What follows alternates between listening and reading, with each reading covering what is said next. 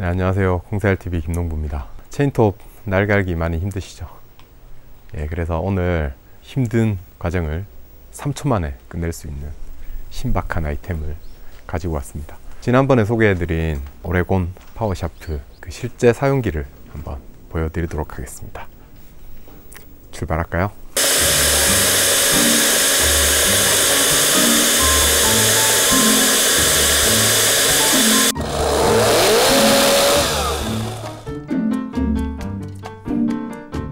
네, 지난번에 Oregon PowerSharp 톱날 연마기 그리고 요 guide bar에 대해서 잠깐 설명을 드렸었는데 지난번 설명드린 내용을 간단하게 한 번만 더 짚어보고요. 바로 실사용 영상을 보여드리도록 하겠습니다. 어, 처음 구매하실 때는 guide bar 그리고 톱날 연마기 요 세트로 구매를 하셔야 되고 다음에 구매하실 때는 톱날과 숫돌 이렇게 포함되어 있습니다. 네, 숫돌을 날을 교체하실 때마다 갈아주시면 되고요. 네, 기존 톱날과 비교를 한번 해볼게요. 오레곤 톱날은 보시다시피 위쪽으로 날이 서서 있습니다. 여기 보면 어, 기존 톱날은 측면으로 이렇게 날이 서 있어서 측면을 통해서 나무가 깎여 나가는 형태로 되어 있습니다. 실제로 실사용에서는 어떤 차이가 있는지 한번 비교를 해보도록 하겠습니다.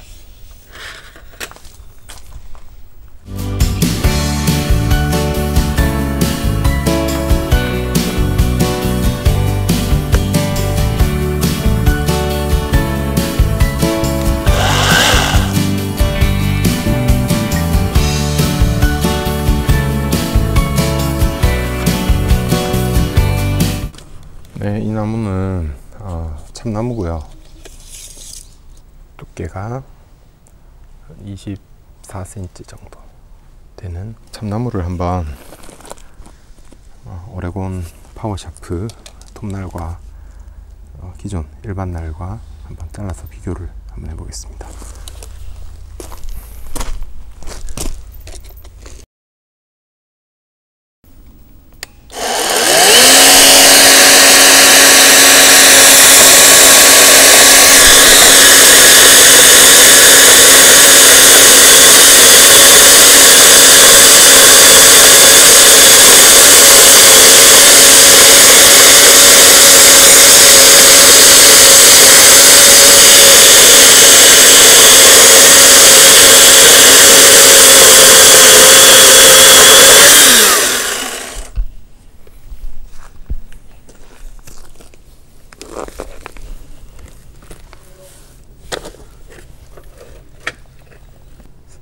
기존 톱날과는 느낌이 조금 다른데요.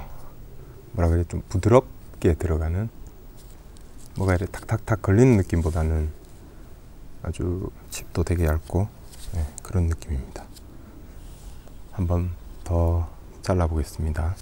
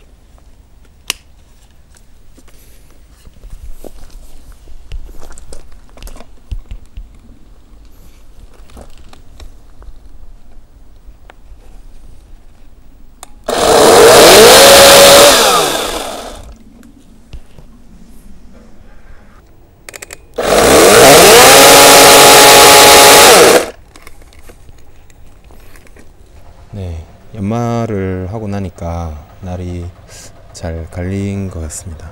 보니까 어, 이게 뎁스 게이지도 어, 맞게 갈아주네요.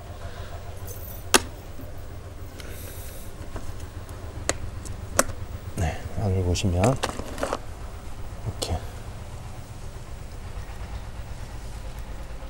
수돌이 지금 어, 갈려나간 모습을 볼 수 있습니다.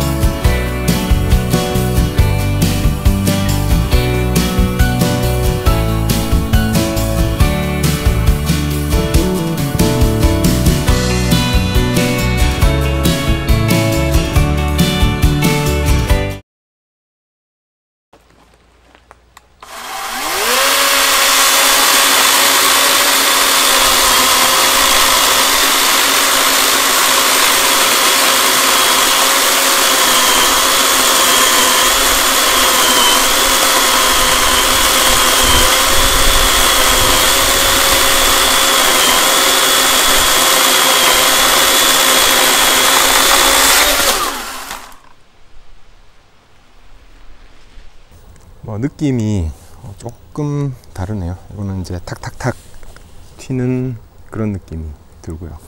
아까 오레곤 날은 약간 부드럽게 그냥 쭉 내려가는. 그둘다 제가 힘은 하나도 안 주고 엔진 톱 무게만 가지고 이렇게 자연스럽게 내려온 그런 결과입니다.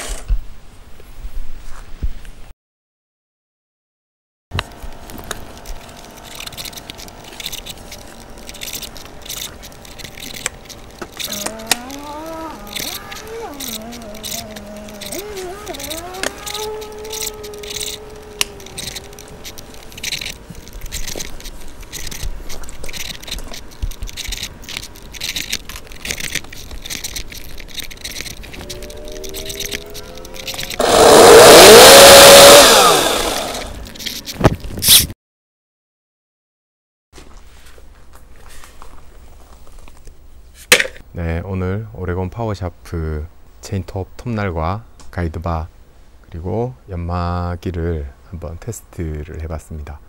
그 지난 시간에는 간략하게 장착하는 모습만 보여드렸는데 어, 오늘 실제로 사용하고 또 이제 날 연마하는 모습까지 그렇게 좀 보여드렸고요. 느낀 점을 뭐 간략하게 말씀드리면 일단 절삭력은 예, 합격을 줄 수 있을 것 같습니다.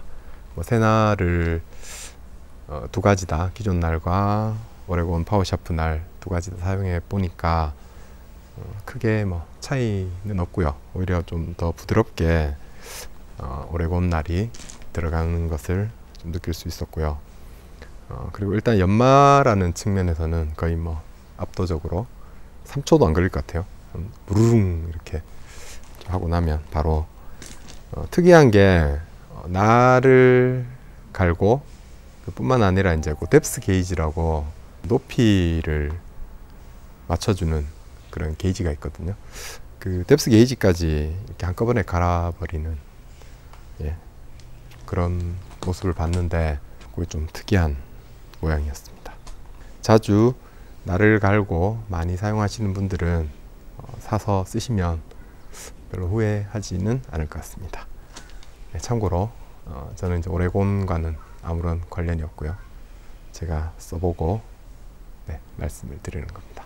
오늘 영상이 도움이 되셨다면 좋아요, 구독 눌러주시고요. 다음에는 제 체인톱 되게 궁금해 하시는 분들이 많더라고요. 어, 지난번에 80V 예초기 그 설명을 드렸었는데 그거랑 같은 배터리를 사용하는 어, 그린웍스 80V 체인톱이고요. 예, 다음번에는 그걸 한번 리뷰를 해보도록 하겠습니다. 그러면 다음에 더 좋은 영상으로 찾아뵙겠습니다. 안녕.